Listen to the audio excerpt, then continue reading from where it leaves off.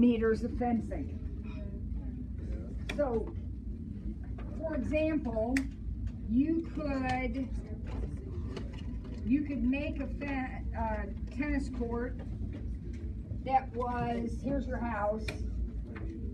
You could make these, um, what, a hundred, well, and this a hundred, right? You could make a tennis court like that. Right? You could also make one that was, you have three hundred meters of fencing, so you could make 10, 10, and two eighty. That would be another size. Well, your job is to figure out what, how am I gonna cut this fence up, arrange this fence, so I get the biggest area that I can? So what are your thoughts on that? How do you think we might go about solving that problem without doing trial and error forever?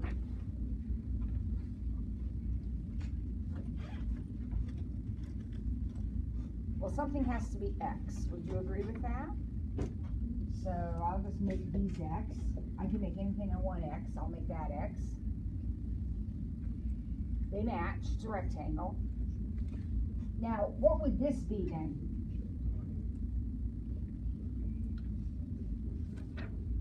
Patty?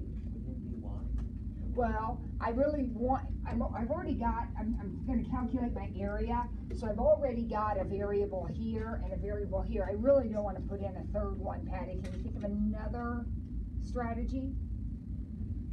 Have it be in. Peyton? I have a question. I don't understand how like it could be any bigger than three hundred because he only has How what could be bigger than three hundred? Because he only has three hundred meters of fencing. Exactly. So wh- what are you saying? Nobody said it's gonna be bigger than three hundred. Are you uh, telling me what the domain is? If that's right. Well, I mean, we, nobody, I'm not sure why you're saying what you're saying. Nobody said it's bigger than three hundred. Oh, okay. These, these, are- we don't know what these are. won't we know that the biggest area is three hundred? No, no, no, no, no. The, the, this, this is three hundred. Oh, okay. I see. The, the amount of fencing is three hundred, but not the area. See, there's a difference. Okay. The amount of fencing is like perimeter, right? Okay, but you're right. All these added up have to be three hundred. And that's the key to figuring out how long this is, Sarah. So that's actually three hundred minus two X. That's exactly what it is. Three hundred minus two X. Now, why is it three hundred minus two X? Well, altogether, like Peyton said, we have three hundred meters of fencing. If you put X of it here and X of it here, what's left? Three hundred minus the two X. Now, what is the area of this rectangle? How will I express the area of the tennis court? X times three hundred minus two X? So I have an equation that looks like this. If I put in Y for my area, I have three hundred X minus two X squared. What kind of an equation is that? I know it's backwards, but what kind of an equation is that? That's quadratic. And see that negative two right there on the X squared? What does that tell me about that quadratic function? It's going down. So wait a minute. This equation, if I graphed it on my calculator, would look like that, right? What do I need in this problem? What's my goal? What am I looking for? Maximum. Wait a minute, I have a parabola opening down and I want the maximum. I don't need my calculator to do that. If I want the maximum, what do I really just want? The vertex. So here we go. Um, I'm not gonna complete the square, I think I'll do x equals negative b, watch it now, the equation is backwards. So negative b over two A gives me seventy-five.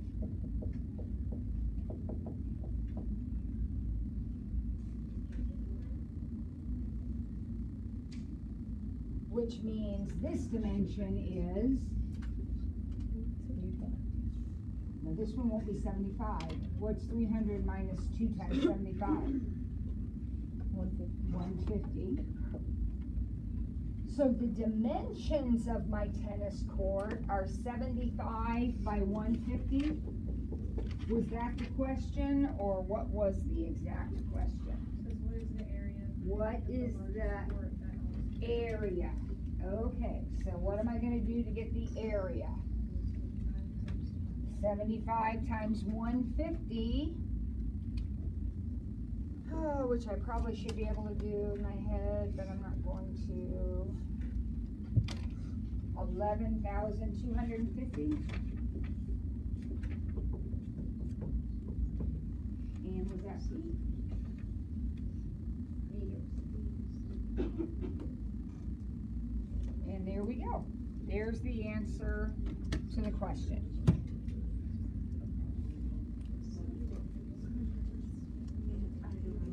Now, yesterday, think back to yesterday, we did a rectangle problem. It was a picture being framed. Did we do that one? Okay, and when we framed that picture, we didn't find the maximum because that question didn't say find the maximum something. It said find the dimensions of the picture. So they're both rectangle problems, but they, we handled them a little bit differently because uh, the question was different. All right, turn the page. Go to the back side of that paper.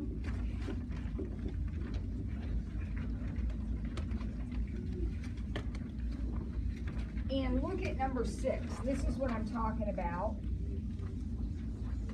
Number six says we have a picture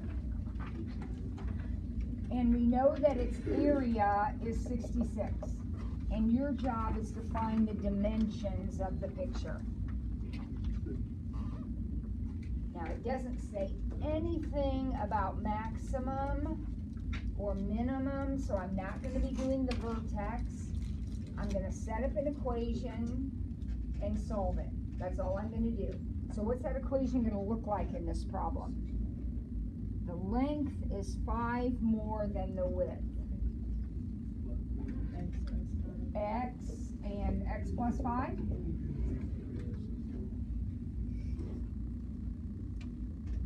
The area is sixty-six. Sam, I will confiscate it.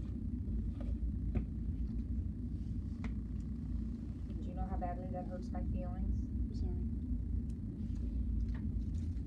Area is length times width, so my formula will be x times x plus five equals sixty-six. Length times width is the area, which they told me is sixty-six.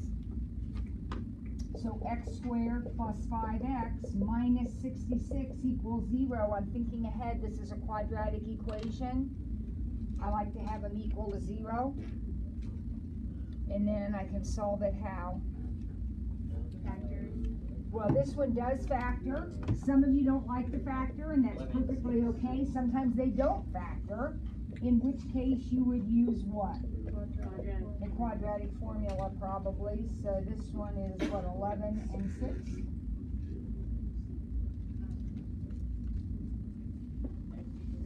So we get x equals negative eleven, which is extraneous, and x equals six, which is the answer. So one dimension is six and the other dimension is eleven? And that's the answer to the question. The two problems we've done this morning both involve finding area of rectangles, but they're different, right? They're different in how we approach them. Maximum or minimum means find the vertex. Otherwise, you're just solving it like always. All right, let's look at number five. These are the ones we were doing when the bell rang yesterday, or when the period ended yesterday. Number five. All right, so read the problem and see if you can remember anything from yesterday. Any kind of strategies we had yesterday.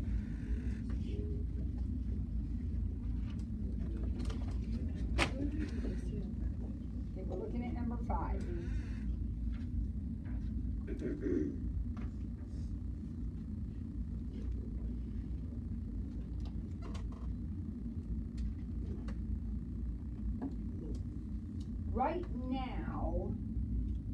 What is Dan's revenue right now? Dan's revenue is what, or his income, income or revenue, whatever you wanna call it. What is it right now? Right now, he's selling them for two dollars each, and he's selling a hundred of them, right? But he's done some market research and determined that what's gonna happen? If he raises the price, this is the price, the number he sells.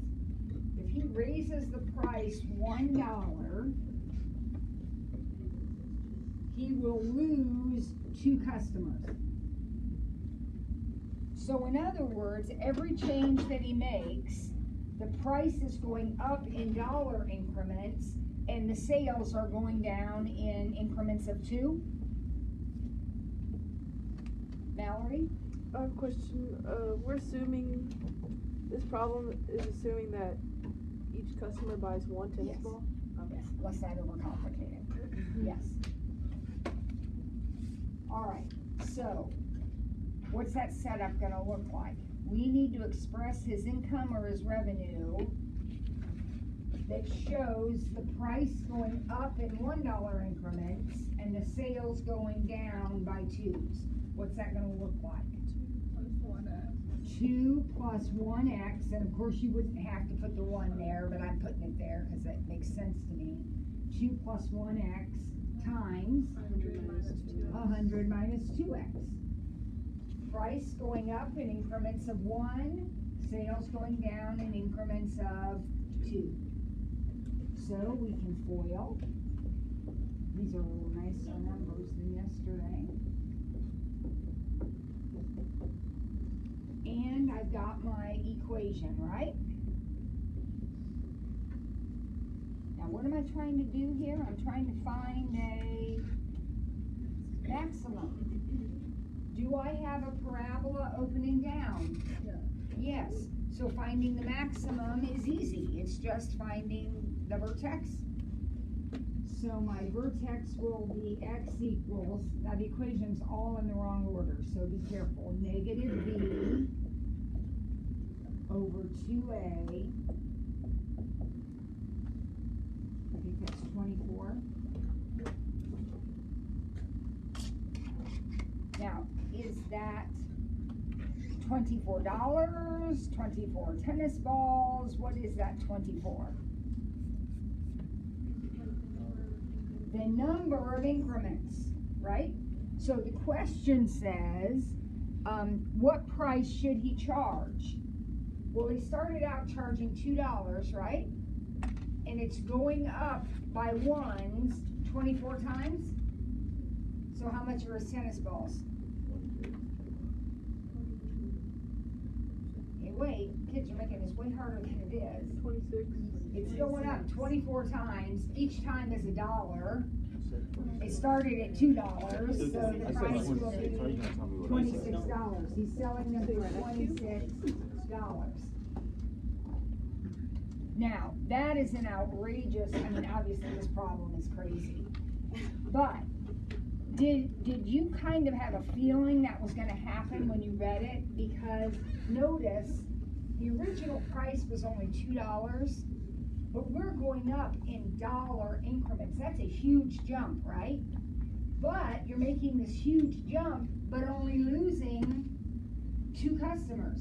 So doesn't it make sense that you could have lots of increases before your customer base got too low? Mm-hmm. Just think about that for a minute. That isn't a very realistic problem at all, but that's the math. Anyway. Okay? Alright, now, there are some more problems in two point one that you need to be able to do. And I'm sure that you, uh, will work on them. We're now move to two point two, and there are just a couple of concepts in two point two that are important. First part of two point two we're gonna talk about are things called power functions. Now, power functions are simply any function where we have x raised to a power. So if you think about just your BFFs, you have this, and this, and this. But you also have this and this. These are all power functions. They are all x raised to a power. That's different than this one, in which there's a power involved, but you see the difference? In a power function, x is to a power. In the exponential function, x is actually the exponent. So this is exponential, as you well know. It is not a power function. It will be handled in chapter three. It's a different situation. We're looking at power functions. Now, you have absolutely no uh, problem seeing these as power functions. But what about these? Do you remember what power square rooting is? One half. That's x to the one half. What power is one over x? x to the negative first. Very good. Those are power functions because they are x raised to a power. The takeaway from this little section of your book, and this is, we're not making a big deal out of this, it's a very general, general idea. But the takeaway is that power functions have very specific behaviors depending on what the power is. This guy is kind of different because he's a straight line. You know that. You know that's a straight line.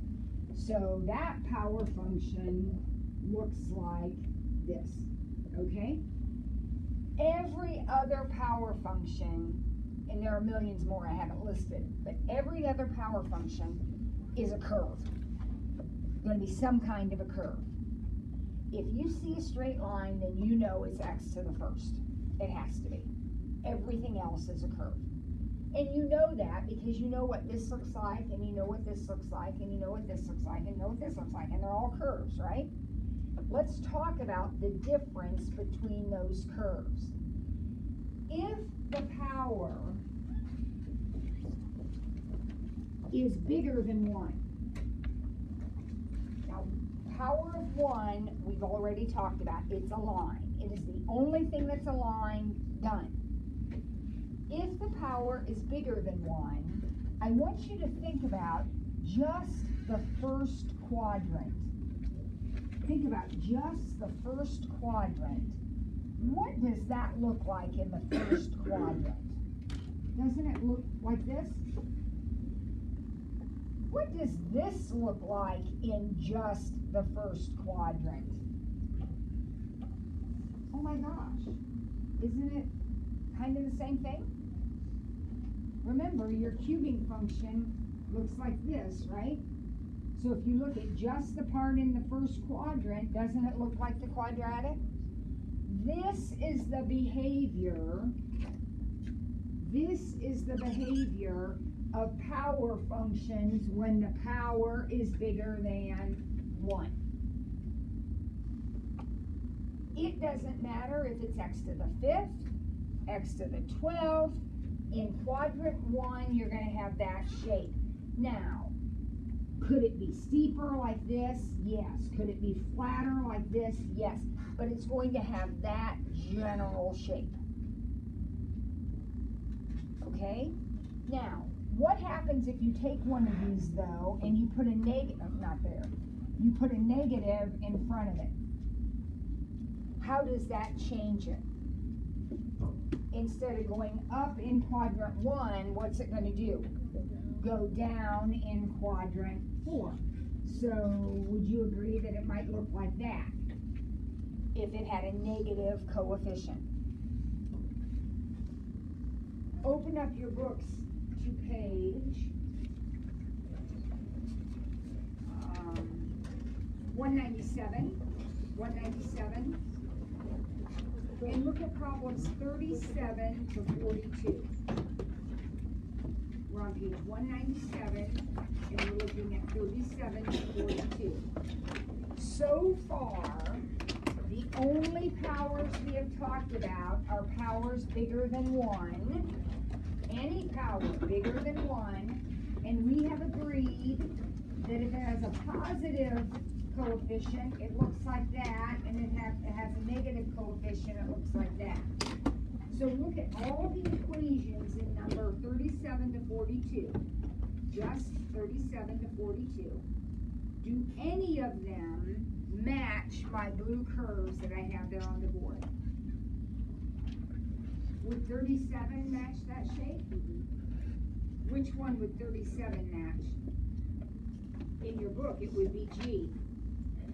Why does thirty-seven match G? Because the power is bigger than one, and the coefficient is negative. I, I can't tell if you people are paying attention or not. Are you following this conversation? Okay, all right. Are there any others there that have a power bigger than one? Oh, 40. Now, I know the power is a fraction, but is, is five thirds bigger than one? Yes. So, and it has a negative coefficient, so it's another G. It would look like this right here, if you graphed it. Uh, that's all. Okay, so let's talk about the next kind of power. What if we have a positive power, but it's less than one? So we have a power that's less than one. Like this one? Right? What does that look like? That looks like this, right? Now that's a different shape than this. This is what it looks like when you have a power less than one. If it has a negative coefficient, then it would look like this. Would you agree with that? So let's see if we can find any of those in these problems. Anything there have a power less than one? Thirty-nine. Thirty-nine? So which graph above there, which colored graph are you matching thirty-nine to? D. D? Which, did you say there's another one? Forty-two? Which colored graph are you matching forty-two to? D has a positive coefficient and an exponent less than one. What if the power is negative? Well, if the power is negative, think about that's your BFF right here, right? If your power is negative, in quadrant one only, if we only look at quadrant one, that's what it looks like, right? That's what they look like when the exponent is negative. So, looking at the problems, what are you gonna match number thirty-eight to? It has a negative exponent, it's gonna match with A.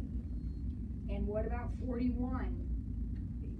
H, because it has a negative coefficient and it flips over into the fourth quadrant. Okay, so basically, power functions have three shapes. Right? They have the shape like this, they have the shape like this, and they have the shape like this. And it totally depends on the size of the power. Got it? The, the second thing, the only other thing that's in this section that's really worth talking about is, um, the idea of variation. You discussed this before. We have direct variation and we have inverse variation. Anybody remember anything about that? Direct and inverse variation. There's also something called joint variation, but we're not gonna spend a lot of time on that. Okay, so you remember there are kind of general formulas for the variations. For direct variation, it's y equals kx, which, It doesn't take much to see that's really the same as y equals mx. The letter doesn't matter. So direct variation is a linear relationship. Does anybody know what it means to be, to vary directly? I mean, that, that's the formula for it. We'll do a problem here in a minute, but does anybody know what that even means? When we say things vary directly, Mallory? Um, to set the coefficient, uh, directly like, or like works together with the x, so it's like affecting x. So again, you're going like this because it's slope. I mean, it- it's slope. Think about this for a second. Christina and I go to the store together. Bananas cost 50 cents a pound. I buy two pounds, she buys three pounds. Who pays more? She does. Why does she pay more? Because she bought more. That's direct variation. If you buy more, you pay more. That's direct variation. When both variables go in the same direction, that's varying directly. So when Mallory was say, making hand motions like this, this X and Y are both going up. Here, X and Y are both going down. If both factors, both variables in the problem are increasing, it's direct variation. Now, think about this. Patty and I live together. Not really, but let's just pretend for a moment we live together. We get in, get, go out the same time in the morning, we get in the car. He gets in his car, I get in my car. We drive to school. Drive exactly the same route. He goes fifty miles an hour, I go thirty miles an hour. What happens? Patty gets there first. So the faster his speed, the less time it took him to get there. That is not direct variation because speed is going up and time is going down. That's inverse variation. Think about chemistry class. What happens to the volume of a gas when you increase the pressure? When you when the pressure goes up, the volume goes down. That is inverse variation. Okay, one's going up, one's going down. The formula for inverse variation, you remember it? K over X, that's it exactly. Now, what do you have these formulas for? Well, they help you to set up problems once you know whether they vary directly or inversely. So, on, on page one ninety-seven, I'll just pick one. Oh, by the way, sometimes they will use the phrase is proportional to. That is direct variation. So if they say is proportional to, that it, that is a signal it's direct variation. Okay, um, let's say, let's look at number nineteen. The current in an electrical circuit is inversely proportional, inversely proportional to the resistance R with a constant of variation V. When you wrote your formulas, you used K, you can use whatever letter you want. They're telling you to use V in problem number nineteen. So I is inversely proportional to R. I is inversely proportional to R. There's the setup for problem number nineteen. I is inversely proportional to R, and instead of using K, they told me to use V. That's all there is to it. If it would have been I is proportional to R, then it would have been I equals VR. If it would have been directly proportional or proportional. Okay? That's that. You should now be able to do two-two homework pretty readily. All right, let's get your calculators out now. Now we're gonna do some exploration on our calculator. I don't know how much of this you've already done in previous years, so I'm gonna pretend you haven't done any of it, gonna start at the beginning because now we're getting into the heart of the chapter.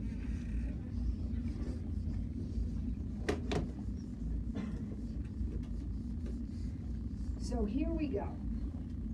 Uh, let's set our window at just a standard size.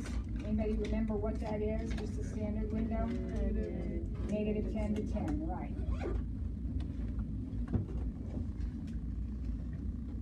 All right, and I'd like you to type in, we're just going to graph and we're not finding maximums, minimums, all that. We're just kind of looking at it. So I'd like you to graph um, x minus 1, x plus 1, x minus 2. So you don't foil it out, just type it in just like that. x minus 1,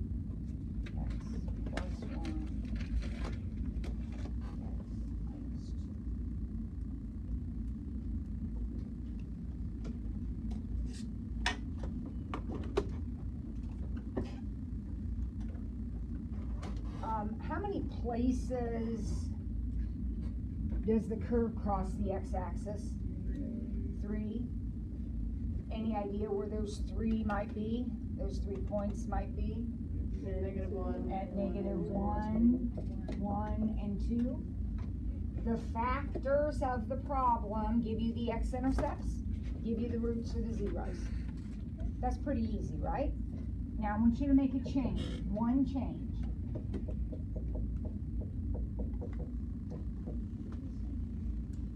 I want you to take out that factor, and uh, actually, let's leave that one. Let's take out this one, leave that one, and square that one.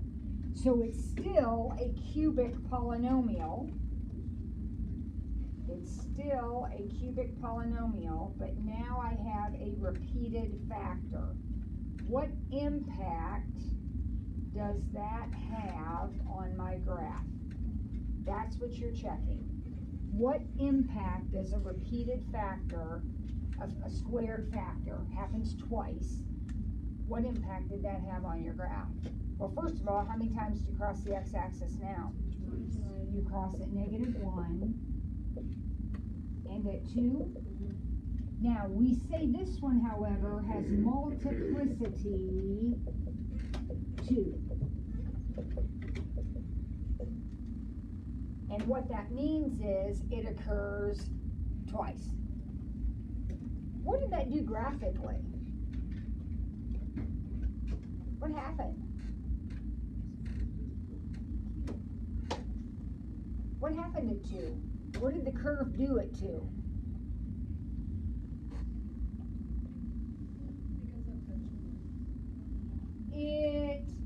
In the original picture, and I, I may have the spacing wrong, but this is what the original picture looked like.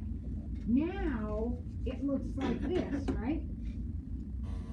So what happened when you had a squared factor? You have a tangent point, a bounce off point. Whenever you have a squared factor, the curve is gonna bounce at that point. It isn't gonna cross through. These were all pass-throughs. They passed right through the x-axis. As soon as you square a factor, then you don't have that anymore. You have a bounce off, a tangent zero. Well, what about if we just had the same factor three times? Now you can graph that on your calculator, but you don't need to. You already know what that one looks like. What's that one going to look like? Isn't it your cubing function? Mm-hmm. Scooted over two places to the right? Now, this one, we would say x equals two, that's the only zero, but we would say multiplicity three, because it happens three times. And how does the curve behave? It passes through, it doesn't bounce off, it passes through, but it passes through differently than it passed through here. Here it kind of just went straight through. What's it doing here?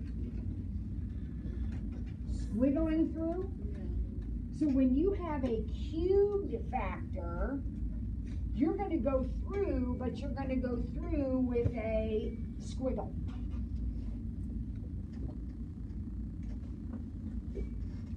Now, you're saying, this is for this is great, but why are you making me do this? Because now we're going to put our calculators away, and we're going to graph a polynomial by hand, Oh, and it's gonna be kind of an ugly polynomial.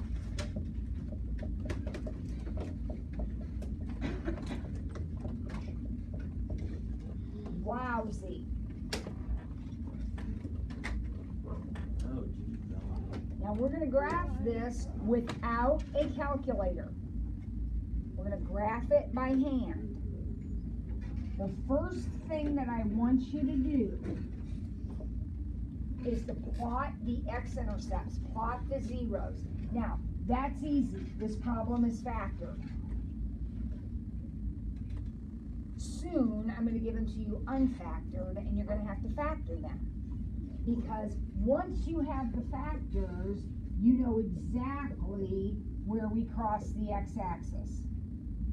These are the points where we cross the x-axis.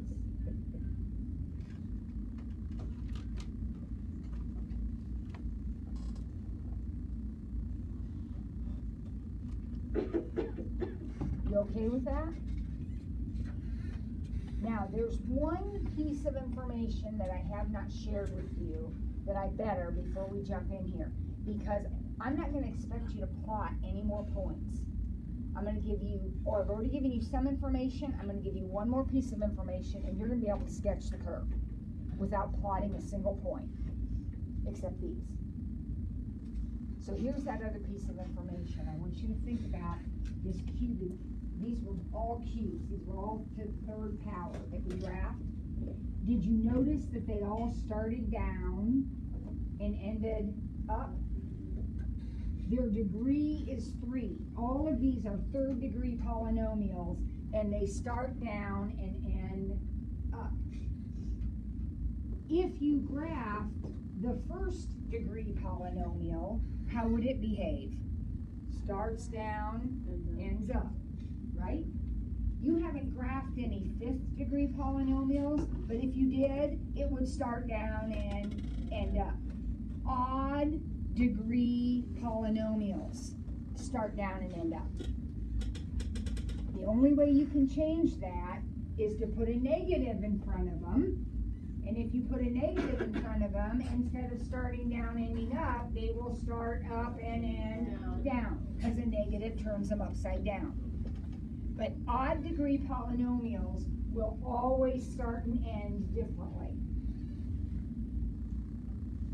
Even degree polynomials, on the other hand, think of x squared. How does x squared operate? Start up, end up, right? Every even degree polynomial is going to start and end in the same direction. Start up, end up unless you put a negative in front of it and then it will start down and down. So, with that in mind, Wyatt, the bell will ring when it rings. Do not watch it. With that in mind, what is the degree of this polynomial? It's a fourth degree polynomial. Does everybody see that? Four factors. Two of them happen to be the same even degree starts up, ends up, unless that's negative, which it isn't. So this curve is going to start up. It's going to come, start up here somewhere. It's going to come down and hit this point. Now, what does it do when it gets there? You have three choices. It goes right through it, it bounces off of it, or it squiggles through it. That dot came from this factor. Tell me what's going to happen. Go right through it. You're just going to zip right through it. And you're going to come down somewhere, but eventually you have to come up and hit that point, right? Because polynomials are connected. Everything's connected. So I don't care how far down you go. Doesn't matter. We're doing a quick sketch, getting a general shape. So it comes down, at some point it turns around and comes up to this point. Now what does it do when it gets to that point? That came from this factor, so it's gonna bounce off. It's a tangent zero. Again, I don't care how far down it goes, it comes down, but it has to turn around at some point and come back up, right? Because it's gotta pick up the three. And what does it do when it hits the three? Right through right through. And there we go. There is a quick sketch of that polynomial. You can sketch any polynomial. Let me give you one more.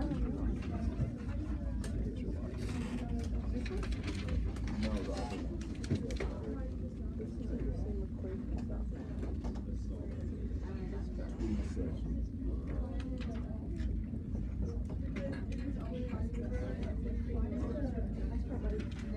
Right, you're right. Here we go. Here we go. We're gonna sketch, do a quick sketch of this, no calculator necessary. So we always start by plotting our x-intercepts. They are the most important points. So here we go, I'll put them on there. Uh, I have one at negative one. Have one at three. And have one at positive. Everybody okay with that? Now, what's the degree of this polynomial? This is a fifth degree polynomial, that's odd. Odd polynomials start down and end up. Unless you put a negative coefficient on them, and then they Start up. start up and end down. So this guy starts up. Now, what does he do when he hits negative one zero? bounces off. And we know that because that came from this and that squared, right? So he goes up and comes down. Again, I'm not worried about how high he goes. It's a calculus problem. I'm just sketching, doing a quick sketch. Now he's coming down. What does he do when he hits that point? Right through. Straight through it. No squiggles, no bouncing, just straight through it. Turns around at some point and comes back up to this guy. At that point, he bounces off and heads down, which makes perfectly good sense because odd degree polynomials start and end in different directions. Amazingly simple. So we're gonna take it up a notch. I dropped out.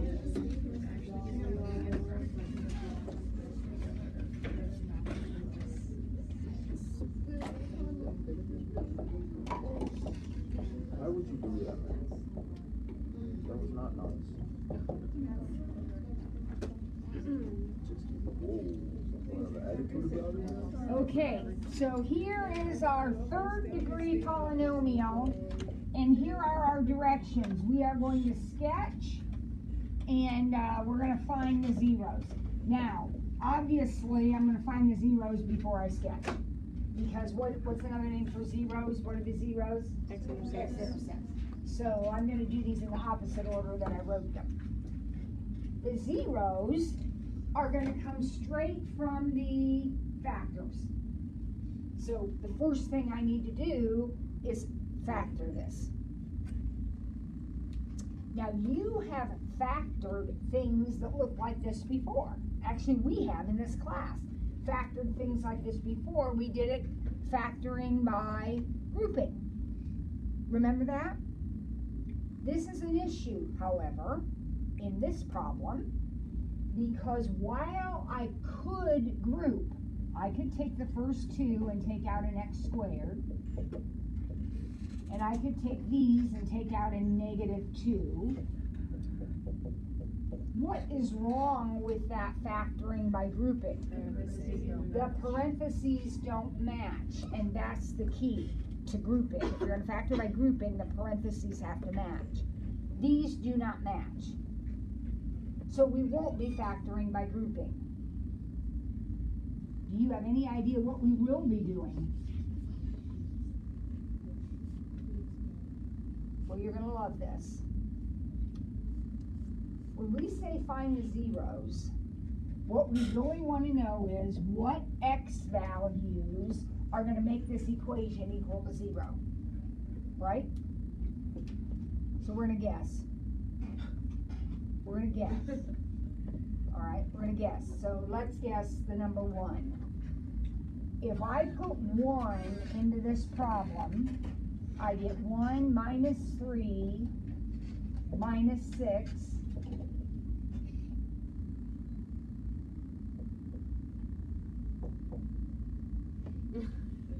Doesn't it work? Yeah. I got lucky. I always try one first. One works a lot, especially in book problems that are rigged. So one, the number one works. Now what does that mean to me?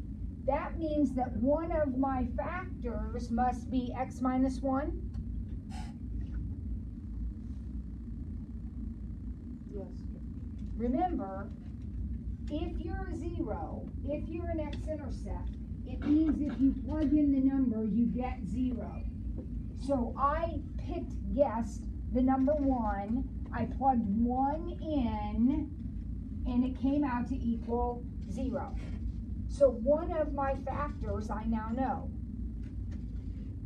Now what could I do at this point? Guess again. I could guess again. I don't really like this whole guessing thing. It makes me uncomfortable. I worry about running out of time. So is there any other strategy? Guessing again will work, although it doesn't work with repeated factors. So I don't like to do it. I don't like to guess again. You could go Divide. Oh, I could divide it out. Yeah, And you're saying long division, I'd rather do synthetic division. that's what I was. Yeah, yeah. So here's the idea. Those of you that are still saying, what the heck's she talking about? How, how, what do they know that I don't know? Think about it for a minute. If you have a big number like hundred and five, and I tell you to break it down into its factors, the first thing you should do is say, oh, five goes into that. I know five is a factor of that. And then what do you do?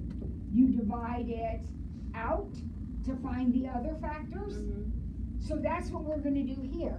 We know one of our factors is x minus one. So we're gonna divide it out. We're gonna do the division, the problem, divided by x minus one.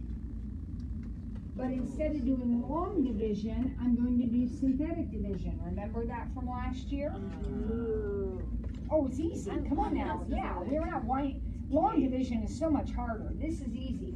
So out here in the box, or circle, or whatever you put out here, doesn't matter. Out here goes the number that you're dividing by.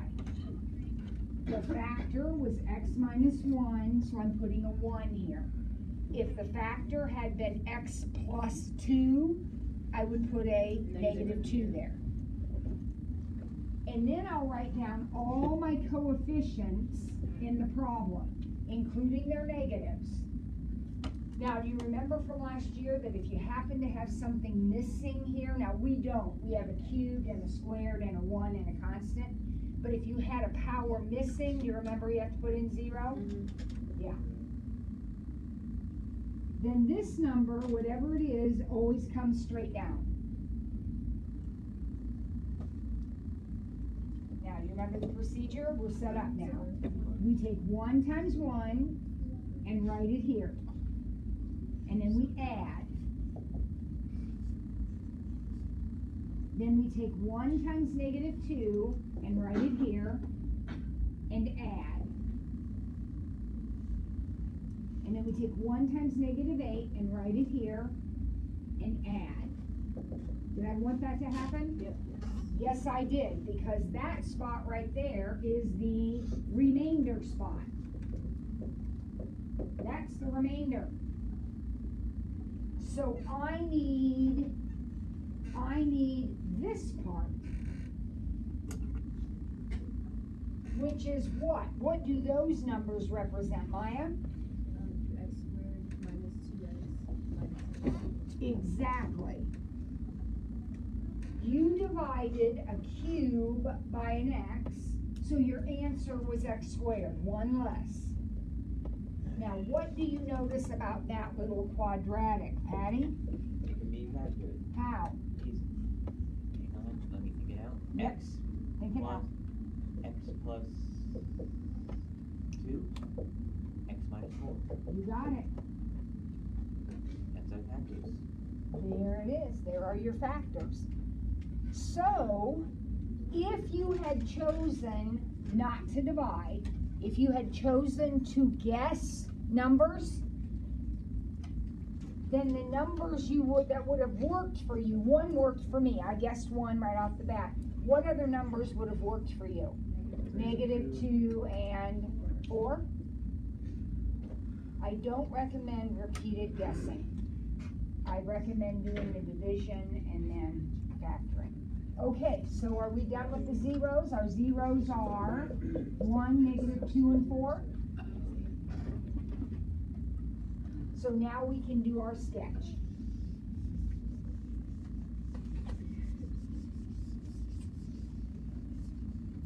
So remember, you plot your zeros, so you'll plot one at zero, or one, and negative two, and four. Now, what is the degree of this polynomial? Three. You know threes, odds, start down, end up, unless they're negative. This one's not. So it starts down. Is anything repeated? Did I have any squared or cubed factors here? No. So that tells me that as I draw my picture and connect my dots, I'm just going straight through everything, right? And there it is. That is a pretty amazing feat.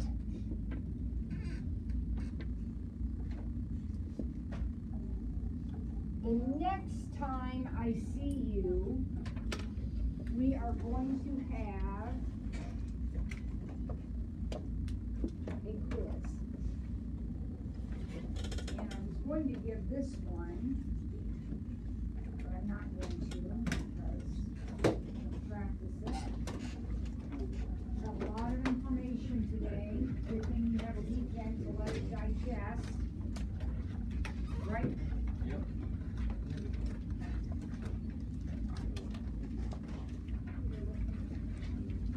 This is some of the very first stuff we did in the chapter.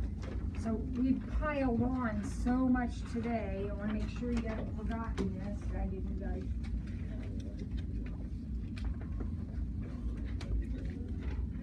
Okay, so let's go through this together and then I will hand out your megaphones and you'll be good to go.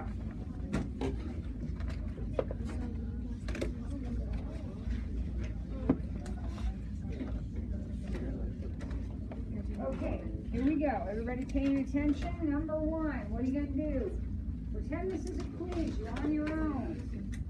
How do we do this? Find the vertex and axis of symmetry. Now, on your quiz, I may do what they did in your homework and say, by completing the square. Those of you that have looked at the homework, there is a section that says, do it by completing the square.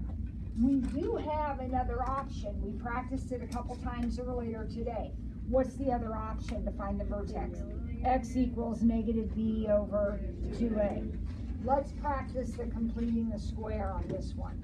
So, what do I do to get ready to complete the square? I'm gonna have to subtract eleven and divide by two. The order you do that doesn't matter, you gotta get both of them done. So if I subtract the eleven and divide by two, I will be left with that. Is that okay? Now we're actually ready to complete the square, so what will we do? Half of four is two, and two squared is four. So we're gonna add four to both sides. I wish I had a penny for every time we forget to add it to both sides. Add it to both sides. This should be a square. What square is that? X minus two, perfect. This needs added together. So you have negative eleven halves and eight halves. So one half y minus three halves, does that work okay? I'm adding these together. Is it eight halves because you multiplied by three? Get a common denominator. Oh. Now what? Add three halves.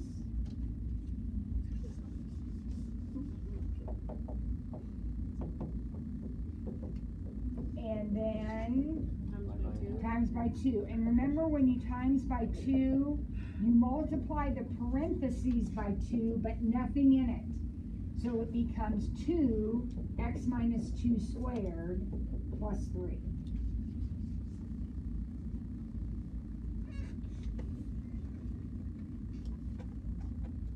And your job was to find the vertex and axis of symmetry, so you're ready to go. Where's your vertex? Two. positive two, positive three. Connect this to what we just talked about in the previous chapter. This is your squaring function, let, uh, right two and up three. And what's my axis of symmetry? X equals two. X equals two. Wait, so we wouldn't add the three lots to four, and we put sides?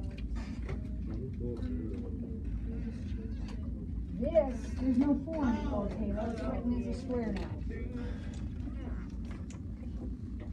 All right, number two, write the equation of the parabola with a vertex at one, four, and containing the point negative two, ten, all right? I think we talked about this yesterday or maybe the day before, I don't remember. All right, so think about it now. Think about it in terms of the problem we just did. Didn't this equation give you the vertex? Yes. So, since we know the vertex, can we start building the equation?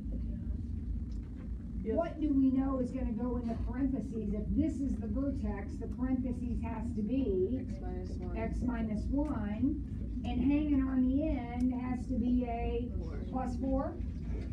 Now, that's the framework or the foundation of the equation, but there's a piece missing, isn't there? What's the piece that's missing?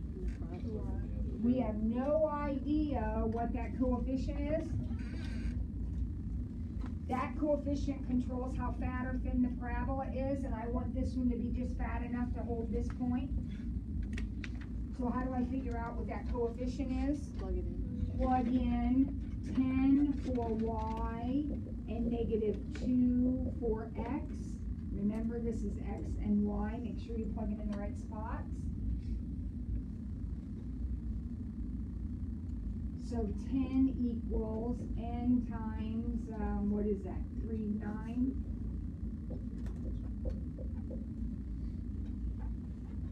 Then add that nine and four. Nope. Only if you wanna miss it, right. We're not adding the nine and the four, we're subtracting four and dividing by nine, so n will be two thirds. And there is your equation. Two-step problem. Build the foundation of the equation by filling in your vertex. Then find your coefficient by plugging in the other one.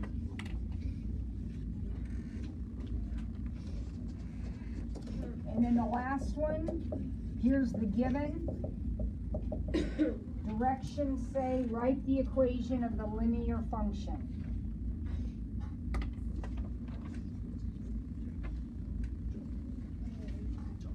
Okay, what's going on here? Those are two ordered pairs, one comma three, negative two comma nine.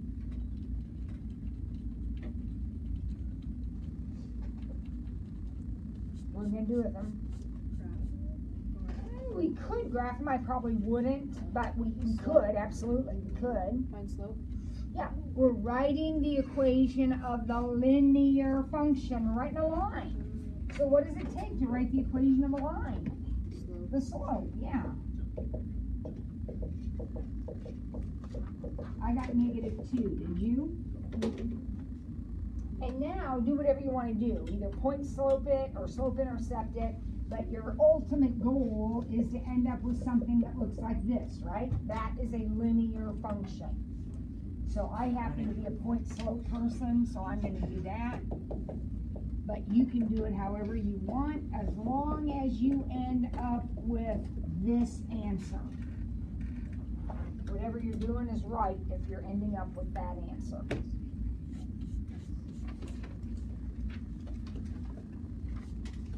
Alright, so, next time I see you, first thing, providing I remember, we're gonna have a quiz, okay?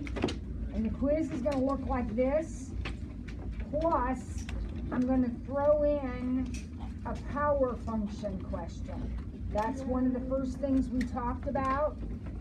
Remember, there are three shapes. And the shape depends on the size of the power. So you're gonna make sure you know that. And we will do more factoring